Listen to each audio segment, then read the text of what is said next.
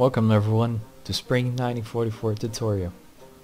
Hopefully this video can introduce new people to Spring 1944 and the Spring engine in general. This video is pretty long so it's divided into sections. The timestamps are in the description and it's also in the play bar of YouTube. Without further ado, let's get into the basics. Spring 1944 is a World War II RTS game focused on both gameplay and a little bit of realism.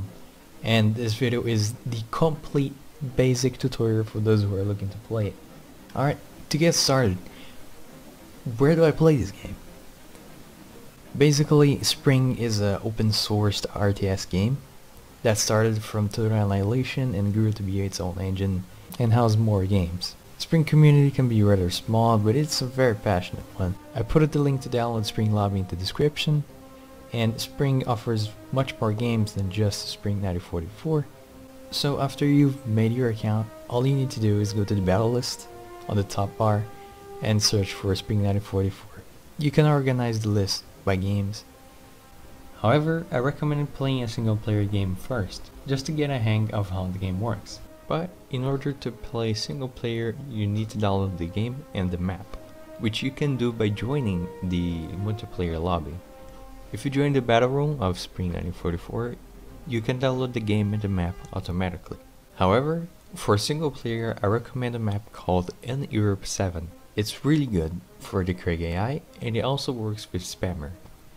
The AI will tend to follow the flags, so it almost simulates a player. The link to download the N Europe map is also in the description. All you need to do is put the map file on the maps folder of Spring. So, after you download the game engine and map, all you need to do is go to the bottom left corner of Spring Lobby, host new and choose the appropriate game with the appropriate engine or else it won't work or crash, disable relay host and put as many players as you like. So in the battle room, you can pick the map, which again recommend N Europe. Now in the bottom right corner, you can click the add button and this window will pop up. The two AIs that works with Spring 1944 is Craig and Spammer. Craig is AI that will try to play more like a natural player, but it will still use resources cheat to be able to compete with you. The spammer on the other hand is the flag tower from Germany and it will spawn all units from all factions directly to you. It's more of a survival type of bot. You can rename the bot's name to however you like. You can also change its color and pick its side. And in order to manually select the spawns, choose before game. If you choose in game, the bot will not spawn at all, because the bot will not choose its own spawn. Random and fixed will still spawn the bot, but with the map's properties. Choosing before game allows you to manually put your spawn and the AI's spawn as well. When you hop into a match, there will be three bars in the top. The gray one in the left corresponds to your command, which is basically your money. The one in the middle represents your total ammo, and the one on the right is your resupply bar, which We'll talk about these two later. Keep in mind these bars might be different depending on the UI you chose. By pressing F11 in-game, you can disable and enable widgets. In this video I use the Nota UI. So let's get into the basic economy, the left bar. In order to receive more command, simply capture a flag with your infantry. The more infantry inside a flag, the faster they will capture it with the exception for the Soviets.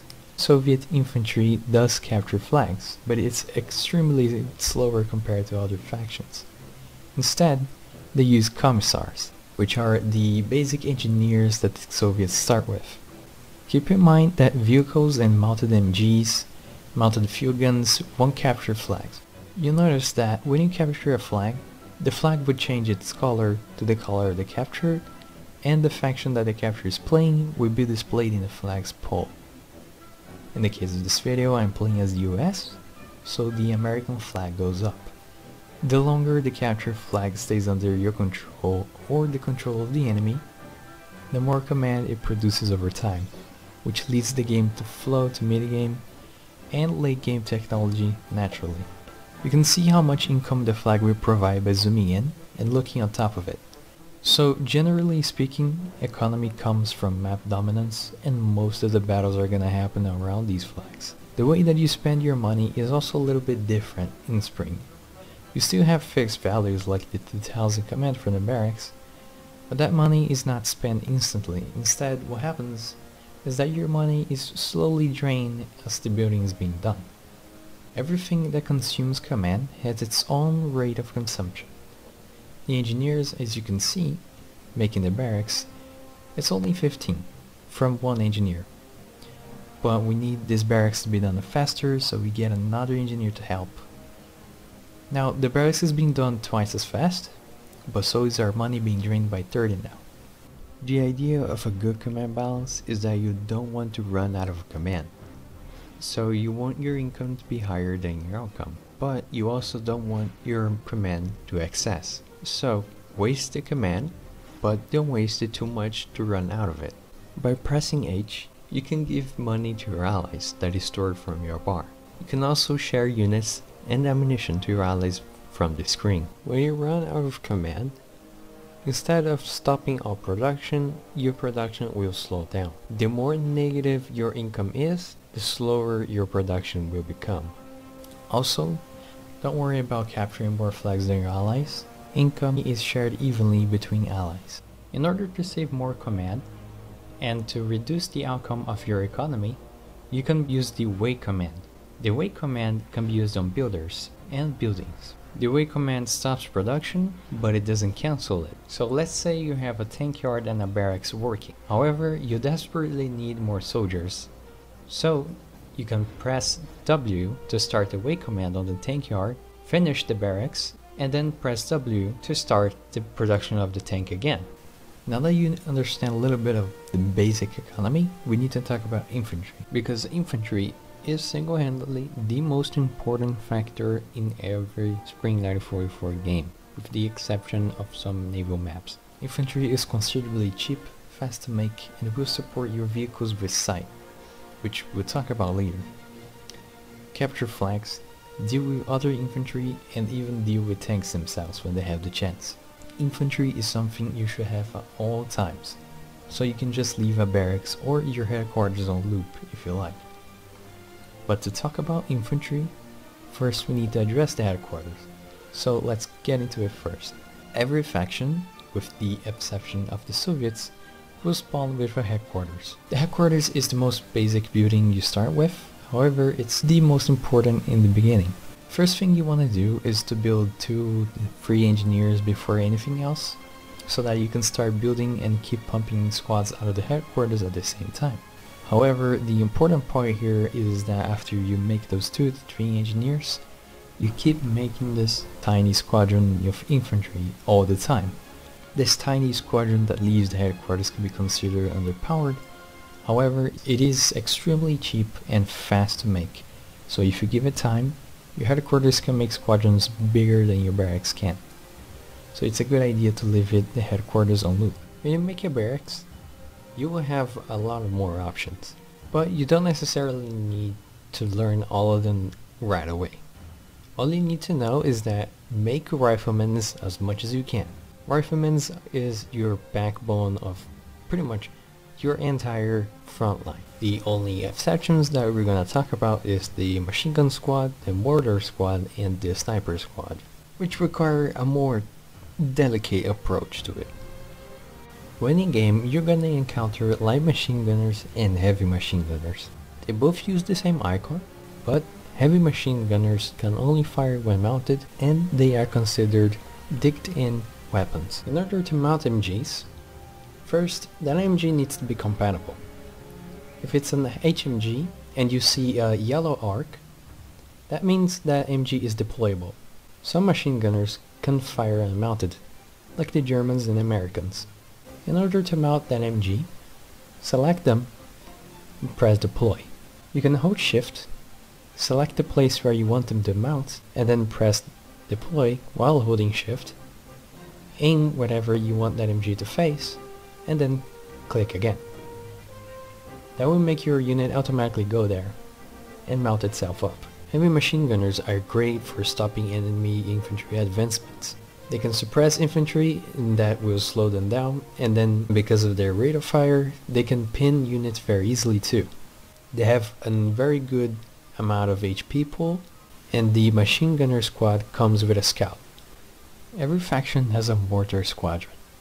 The mortar squadron will spawn 3 mortars and 1 scout. The mortar has a great range advantage and can decimate groups of infantry very quickly. Mortars can also use smoke. However, their smoke radius is much smaller when compared to a howitzer. The downside to mortars is that they are the only squadron who will require ammo. Each mortar stacks up to 150 of ammo, so after they leave your barracks and get resupply, that's 450 of ammo gone. And at the start of the game, you only have a thousand. So be careful not to run out of ammo in the beginning because of that. Even though snipers take as long as a rifleman squad, snipers rarely miss their shots and can kill any infantry with one shot. Mounted machine guns, mounted defenses, will not die in one hit, but will be damaged significantly. Sniper is a great way to counter infantry that is very well equipped. For example, the British. The British headquarters will spawn Brens non-stop. So a great way to counter those Brens is to use snipers.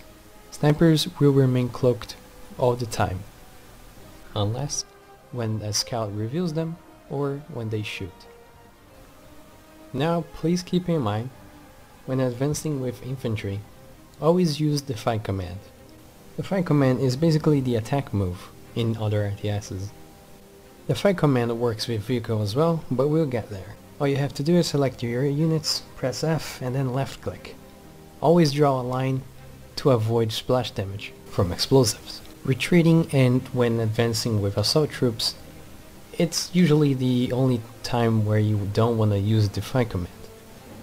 But because riflemen is the backbone of your infantry, you need them to stop in order to shoot. Because shooting when moving is very inaccurate, and when they are in prone, if they are moving, they will not shoot. Another thing that you need to know about infantry, field guns, and aircraft is that they all have a mechanism called fear. While we will talk about field guns and aircraft later, the only thing that you need to keep in mind with infantry is that when infantry is shot, or high explosive shells, or sniper shots occur nearby, infantry will be suppressed and they will go instantly into prone. This will slow down the unit, but it will increase its defense. However, it won't increase the defense of aircraft and mounted defenses. Suppression is indicated by a yellow star under the health bar of the unit. If that star becomes red, that means they are in major fear. That unit will not respond to your actions and will stay there until it can leave that state. Vehicles don't get suppressed, so they don't use the fear mechanic. However, they can be pinned when a low caliber gun is used against them, mostly noticed when using anti-tank rifles. This is the part where we need to address the second and the third bar, the logistics. Any unit that uses explosives will require ammo, and all units that require ammunition will spawn without it. Fortunately, every building has a supply range of its own. You probably noticed already but it's the yellow ring made out of dots. These are what we call the supply zone slash range. Every unit that uses ammunition will have a yellow bar under their health bar. If you hover your mouse over that unit, on the bottom left corner you will have the tooltip. The tooltip will tell you how much ammo they can carry, how much logistics each shot will consume, and an overall total when the ammunition of the unit is full. Units inside the supply range will automatically receive ammo that is stored from the second bar. The second bar represents your max ammo. If you do run out of ammo, the third bar will tell you how much time is left until the next resupply of ammunition. And you don't want your max ammo to drop below 50. Not 50%, but 50. Because any unit inside the supply range will now be receiving a 30% penalty in fire rate, represented by a gray plus circle. However, if you keep your max ammo always above the 50s, you receive a 30% fire rate bonus instead when in supply zones. represented by a yellow plus circle. This rule applies to all units that are inside a supply zone, even if they do not use ammunition. This boost in fire rate can be a huge advantage to your infantry. In order to have more max ammo, build a storage shed.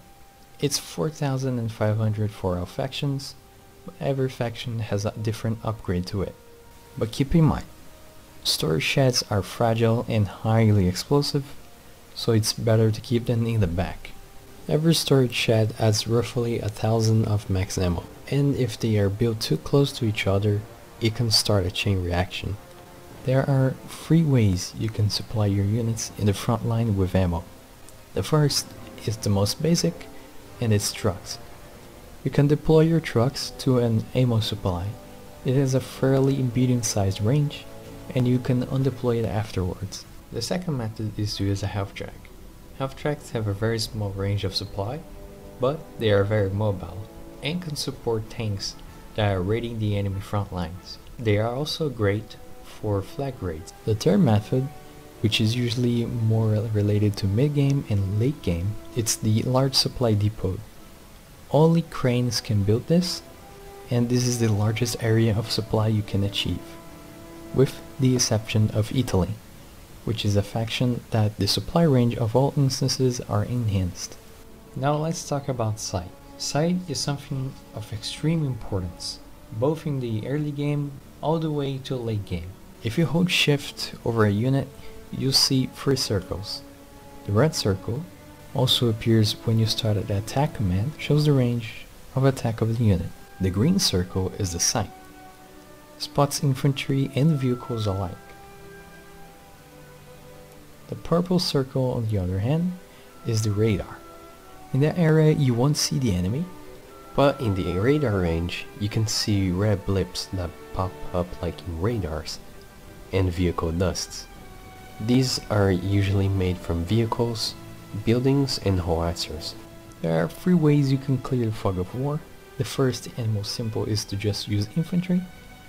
The second is to use infantry and the vehicle scout and the third is the scout plane. The infantry scout is the binoculars guy. In the vehicle scout is usually a car or jeep. Both ground scouts are used in the same way. Select them individually and use the attack command. Always make sure that there is no objects or friendly units in the way. The scout plane on the other hand is much more powerful than both. It reveals a huge vehicle sight area in a medium-sized infantry sight area. However, like aircraft, it has a timer and it's the most fragile aircraft in the game. Now the last part that we need to talk about sight is smoke. Smoke can be used from mortars or howitzers. Howitzers are much better than mortars, but mortars can do the job just fine. Any unit inside the smoke will become very inaccurate, and if large amounts of smoke are used, like in the case of howitzers, their sight can be compromised as well. The last chapter of the basics is about vehicles. All vehicles will follow the same rules, however tanks are the best example for this. First thing you need to know is that the tank is divided in two sections, the first being the turret and the second being the hull. The armor values that are more on the bottom is for the hull. The ones that are more inner to the tank will be the turret. So, how do I know this armor is good? To put it simply, when both of these numbers are higher, the better. But you can't be deceived by the low millimeter of the armor. For example, the Te-Ke from the Japanese is only 14 millimeters. But because of the 72 degrees slope armor, that will usually go towards the 30 millimeter or even 40, depending on the angle of the shot. The angle of the shot is also counted towards this. When you shoot a tank and that tank is slightly deviated to the sides, there's a possibility that that will do no damage at all because the tank was very well angled. This forces positioning on tanks to be very important. So you can exploit this. You can force your enemy to angle incorrectly. This is very easy to achieve when you have multiple tanks. But how do I know I can damage that tank with my tank? Well, if you select your tank and press A or the attack command, you can go within the range of attack of your tank and see how much millimeters you can penetrate. The closer the tank is, the better, but also more risky. With the exception of Italy, that has HEAT shells, which are not affected by distance. Now we get into the early game section. The following sections in this one will help you get started on your first games. Before anything, it's recommended that you play with a faction with strong infantry and balanced tanks. Great Britain, US, Germany are very good starters. Early game is the moment where you want to know quickly what faction you're going up against. That's when you can zoom in in the flags that the enemy is capturing and see what flag is going to be displayed. Sweden, USSR and Japan will usually tack towards towed gun yard more often, so prepare for mounted anti-tank guns and mounted field guns. In the case of the other factions, expect light vehicle competition. But going with the more easy starter factions, what you want to do is capture flags with your infantry, make 2 to 3 engineers on your headquarters, and make the headquarters squadron and leave it on loop to bring them on the front lines. With those engineers, make a light vehicle yard and build light vehicles to support your infantry. Keep the pressure on the flags and make a barracks if more infantry is needed. It's recommended you use your scout plane 2 to 4 minutes in. The scout plane is great to get information quickly. Send your scout plane to where you think the enemy spawn so that you can see the headquarters positioning and if they're attacking towards light vehicles or towed. Try to keep your scout plane alive. You will receive the money that the scout plane costs back if you survives. Early game phase can end quickly, or take a little more time depending on the map you're at. Some maps will have economy which will rapidly increase and enter into a mid-game in about 10 minutes, while others might take 20 minutes. Early game is very simple. As long as you keep countering the enemy and hold your lines and supply your units. However, when we get into mid-game, tanks come into play. Tanks will work in the same way as light vehicles. Infantry will help them get sight, and in return, they will kill infantry and deal with other tanks. The difference here is that the penetration values will become harder, requiring multiple tanks to flank, or upgrading the tank yard for better tanks, or upgrading the towed gun yard to tank destroyers. For your first games, it's recommended that you make a towed yard and upgrade it to tank destroyers. This is where scouts become very important.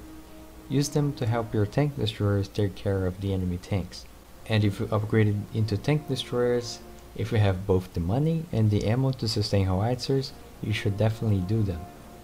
Tank destroyers are only made from the upgraded towed gun yard with the exception from the US, that can make the Wolverine from the tank yard. Tank destroyers are fantastic tank killers. They only target vehicles, so they don't waste ammo on infantry, and have great range. In counterpart, they are usually turretless, making combat on hills more difficult for them. They also don't have much armor to defend themselves and generally have a long reload. In their own way, they can be considered the sniper class of the tanks. In the late game, enough money or ammo has been reached. This is where you can start really going into howitzers and aircraft together with your armada of tanks and infantry. In the late game, you want to continue producing medium tanks and infantry, tank destroyers, and keep using your scouts. But to break the tie, you want to get howitzers going, either to destroy the enemy's howitzers or to disrupt their infantry reinforcement. Don't use all howitzers with explosives. Mix them with smoke and explosive shells for maximum performance. Smoke will make sure you can safely advance and make enemy units miss their shots, while explosive shells will kill infantry in their radius. Howitzers will be inaccurate if they don't have sight. They can still shoot without clear view of the enemy when using the attack command however. If the howitzer has sight of the target, it will start to target it. After a few shots, the following ones will have a precise accuracy. In the late game and even mid game, you can do aircraft. To do aircraft in the early game is a gamble. Aircraft is very expensive and will slow you down by a lot if you decide to do it early. In order to make aircraft, make a radar.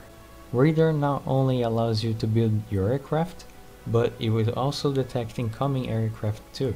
Going aircraft has a very specific goal, to either destroy ground targets or to take down enemy aircraft. Every aircraft takes some time in order to get into the battlefield, to simulate reinforcement. And every aircraft has a timer, in order to simulate fuel. All factions have generally 5 aircraft squadrons. Interceptors, which arrive in 15 seconds, are inferior to fighters, but perfect for getting bombers that are unprotected. Fighters arrive in 30 seconds, your main use of air combat. They can easily go versus interceptors, fighters and bombers. Bombers arrive in 45 seconds. Bombers are designed to destroy buildings and they can also destroy tanks if needed. Ground attackers will also arrive in 45 seconds and they are specifically designed to destroy tanks. And lastly, the scout plane. This is the same scout plane from the headquarters and barracks. However, it is built much faster in the radar. Use aircraft to destroy valuable ground targets or intercept enemy's aircraft. And make sure they stay alive to get your command back. Great Britain and US, they have special landers. US has paratroopers and Great Britain has gliders. And lastly, for the late game, heavy tanks. The purpose of heavy tank is to provide a tank that can press forward, survive a couple of hits, and possibly deal with other medium tanks. Heavy tanks can be a menace. If no gun can penetrate it, aircraft or smoke might be the only solution. They generally have a long reload and are more expensive, so treat them carefully. Learning naval is pretty easy, because naval is straightforward.